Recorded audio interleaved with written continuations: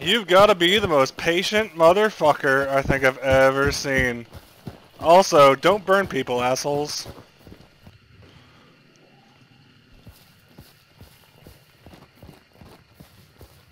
So, I just killed that guy's partner and waited there for about maybe 20 minutes for him to actually make a move.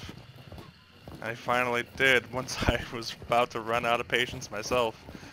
Oh, good lord.